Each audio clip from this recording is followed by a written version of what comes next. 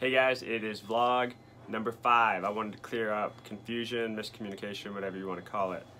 I am not Samson, and Jake is not Samson. Full disclosure, that name was here way before I was even a part of the brand. Pretty crazy though that no one had used the name Samson's Hair Care before us. Uh, it seems very obvious. Uh, depending on what type of household you grew up in or what tradition you grew up in, uh, Jake and I both were raised Christian. We still are Christian.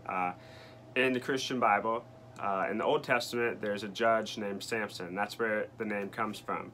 In the Old Testament, Samson's a judge. Uh, it was a period when Israel did not have a king, so they had just this line of judges who kind of did all the ruling of the kingdom uh, or a nation, because there can't be a kingdom without a king. Uh, Samson, he had taken a Nazarite vow uh, from birth that was placed on him, so he couldn't cut his hair, and there were certain foods he couldn't eat, uh, certain drinks he couldn't drink, um, but he got a strength from his hair.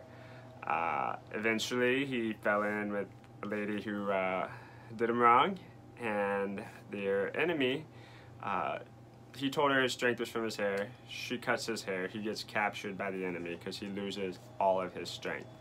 Um, part of that, he ends up growing his hair back in captivity. They had gouged out his eyes, take him to this party, and uh, while he's in captivity, they, his hair grows back. They want him to come to the party he has to be chained up between the two pillars. So you see the broken pillars in our uh, logo right here.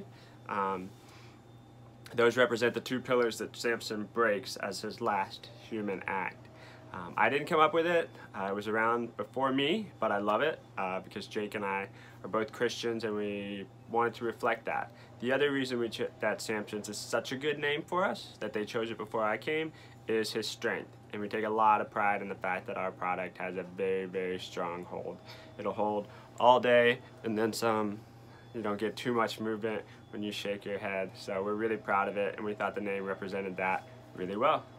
I'll see you guys soon. Have a wonderful day. Don't forget our shirts are still on pre-order. Uh, we have an event tomorrow night. Thank you and have a good one.